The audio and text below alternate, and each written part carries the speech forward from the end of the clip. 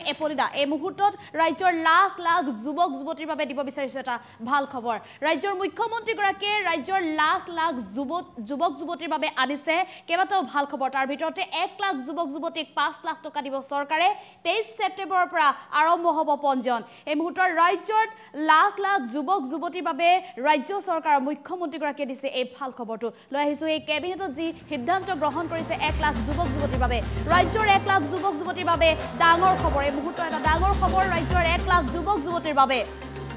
এক লাখ যুৱক যুৱতীক দিয়া হ'ব দুই লাখকৈ টকা।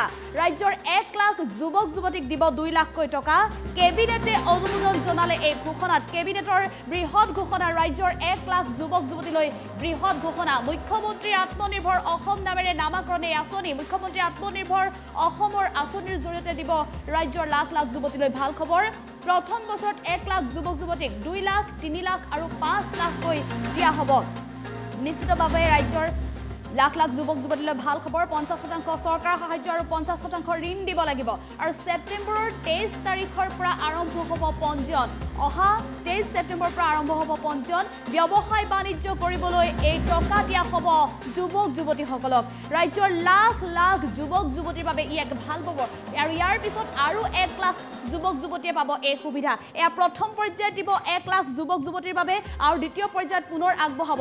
শিক্ষাগত অৰ্হতা আৰু দক্ষতা অনুসৰি কেইবাটাও ভাগত বিভক্ত কৰা হ'ব।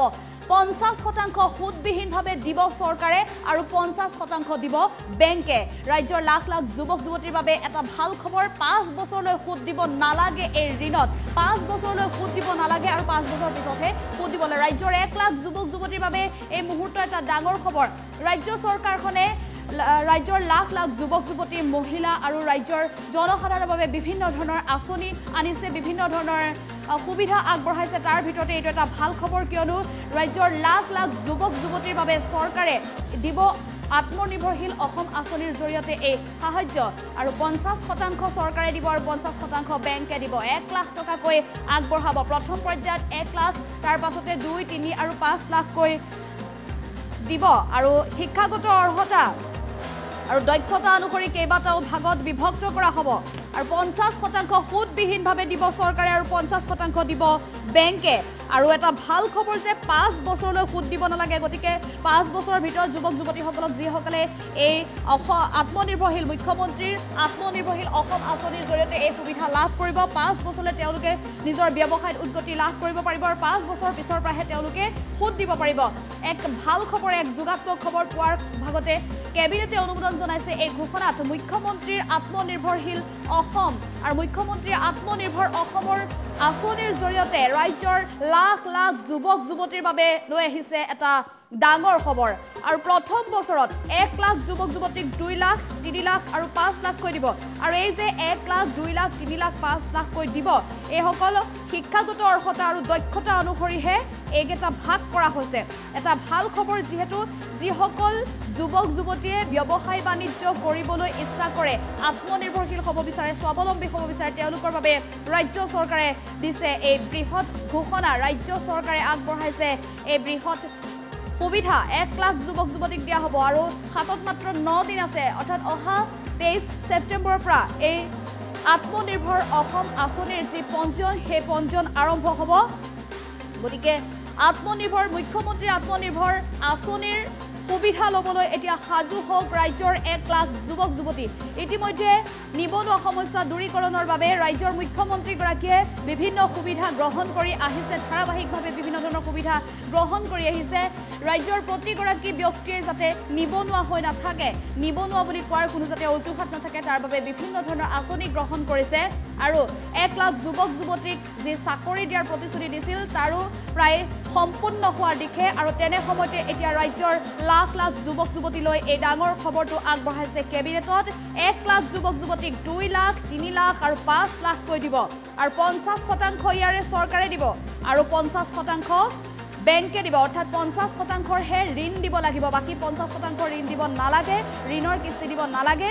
গতিকে ব্যৱসায় বাণিজ্য কৰিবলৈ যিসকল উদ্যমী যুৱক যুৱতীয়ে আগ্ৰহী সেই আগ্ৰহী যুৱক যুৱতীসকলে শীঘ্ৰে পঞ্জীয়ন কৰিবলৈ সাজু থাকক কিয়নো আপোনাৰ হাতত দিয়া হ'ব মুখ্যমন্ত্ৰীৰ আত্মনিৰ্ভৰ আঁচনি আৰু এই আঁচনিৰ জৰিয়তে আপুনি হ'ব পাৰিব আত্মনিৰ্ভৰশীল এজন যুৱক আত্মনিৰ্ভৰশীল এগৰাকী যুৱতী অথবা স্বনিৰ্ভৰশীল স্বাৱলম্বী। আৰু এই শিক্ষাগত অৰ্হতা আৰু দক্ষতা অনুসৰি কেইবাটাও ভাগত বিভক্ত কৰা হ'ব। গতিকে পঞ্চাছ শতাংশ সুদবিহীনভাৱে দিব চৰকাৰে আৰু পঞ্চাছ শতাংশ দিব। বেংকে। আৰু তাতোতকৈ ভাল খবৰ যে পাঁচ বছৰলৈ এই যি পঞ্চাছ শতাংশ বেংকত ঋণ দিব ঋণৰ কিস্তি দিব লাগিব সেই পাঁচ বছৰলৈ আপুনি একো দিব নালাগে সুদৰ হাৰ। আৰু পাঁচ বছৰৰ পৰাহে আপুনি এই পঞ্চাছ শতাংশ ধনৰ সুদ দিব লাগিব। এই মুহূৰ্তৰ এটা ভাল খবৰ কিয়নো পাঁচ বছৰলৈ সুদ দিব নালাগে যুৱক যুৱতীসকলে। গতিকে পাঁচ বছৰত আপুনি আপোনাৰ ব্যৱসায়ত উদ্গতি কৰি স্বাৱলম্বী হৈ ল'ব পাৰিব আত্মনিৰ্ভৰশীল হৈ ল'ব পাৰিব। তাৰ পাছতহে আপুনি এই বেংকত ঋণৰ কিস্তি ঘূৰাব লাগিব। কেবিনেটত এই সন্দৰ্ভত কি কি আলোচনা কৰিছিল কি কি ঘোষণা কৰিছিল আমি আগবঢ়াইছোঁ কেবিনেটৰ আলোচনা। আমাৰ বাজেটত এটা ঘোষণা আছিল যে আমি অসম চৰকাৰে আমাৰ এক লাখ লোকক চাকৰি দিয়াৰ লগে লগে দুই লাখ লোকক আত্মসংস্থাপনৰ যি লক্ষ্য সেই লক্ষ্যৰে আমি কাম কৰাৰ কথা বাজেটতে ঘোষণা কৰা হৈছিল যে এক লাখ যুৱক যুৱতীক আমি দুই লাখ টকাকৈ দিম বুলি সেই সময়ত কোৱা হৈছিল তাক কিছু আৰু উন্নত কৰি এই কামটোত আজি অসম কেবিনেটে অনুমোদন জনাইছে য'ত আমি মুখ্যমন্ত্ৰীৰ আত্মনিৰ্ভৰ অসম নামেৰে জনা যাব। মুখ্যমন্ত্ৰীৰ আত্মনিৰ্ভৰ অসমৰ জৰিয়তে প্ৰথম বছৰত আমি এক লাখ যুৱক যুৱতীক দুই লাখ তিনি লাখ আৰু পাঁচ লাখ টকাকৈ bank grant fifty percent grant আৰু fifty percent interest free bank লোনৰ চিষ্টেমেৰে দিয়াৰ সিদ্ধান্ত আজি কেবিনেটে লয়। আৰু ইয়াৰ কামসমূহ আৰম্ভ হ'ব এই মাহৰ তেইছ তাৰিখৰ পৰা ইয়াৰ ৰেজিষ্ট্ৰেশ্যন আৰম্ভ হ'ব তাৰপিছত এপ্লিকেশ্যন আৰম্ভ হ'ব। এই ধৰণৰ এটা চিন্তা কৰা হৈছে। গতিকে তেইছ তাৰিখে যেতিয়া ৰেজিষ্ট্ৰেশ্যন আৰম্ভ হ'ব বা ৰেজিষ্ট্ৰেশ্যন অপেন কৰি দিয়া হ'ব তেইছ ছেপ্টেম্বৰৰ পৰা সিদিনাখনেই ইয়াৰ গোটেই গাইডলাইন বা কি ধৰণে হ'ব এই কথাটো আপোনালোকক জনোৱা হ'ব। এতিয়া এইটোৱে সিদ্ধান্ত লোৱা হৈছে যে মুখ্যমন্ত্ৰীৰ আত্মনিৰ্ভৰ অসম নামেৰে আমি এই আত্মসংস্থাপনৰ এই ব্যৱস্থাটো আৰম্ভ কৰিম য'ত স্বনিয়োজন বা আত্মনিৰ্ভৰশীলতা বা নিজৰ আত্মসংস্থাপনৰ কাৰণে এক লাখ যুৱক যুৱতীক প্ৰথম বছৰতে আমি বিভিন্ন অৰ্থ সাহায্যৰে সুবিধা দিয়া হ'ব আৰু পিছলৈকে আৰু এক লাখ যুৱক যুৱতীক দিয়া হ'ব।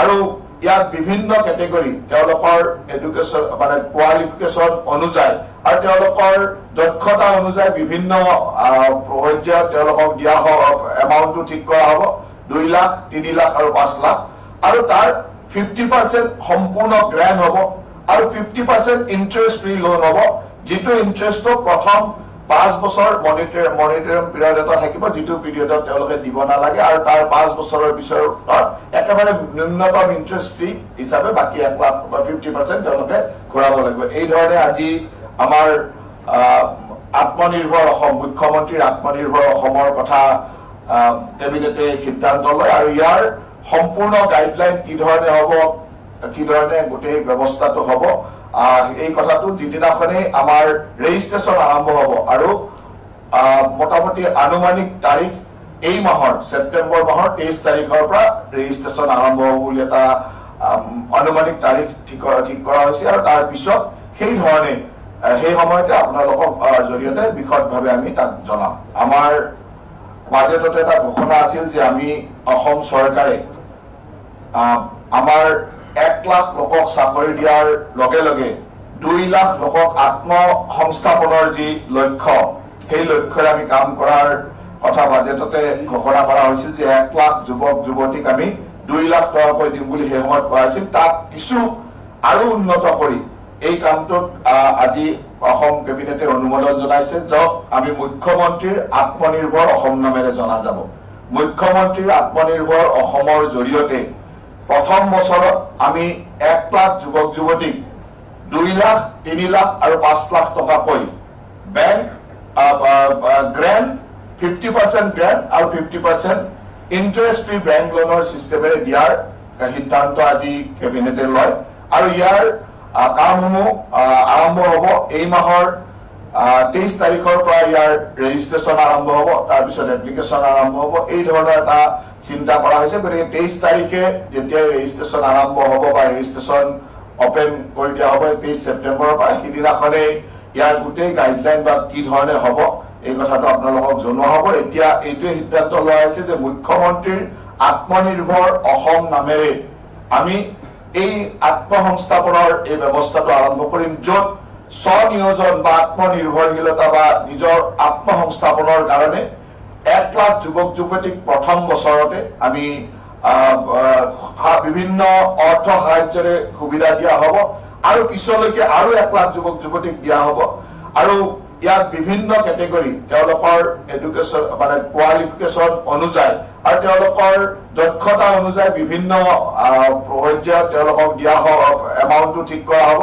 দুই লাখ তিনি লাখ আৰু পাঁচ লাখ।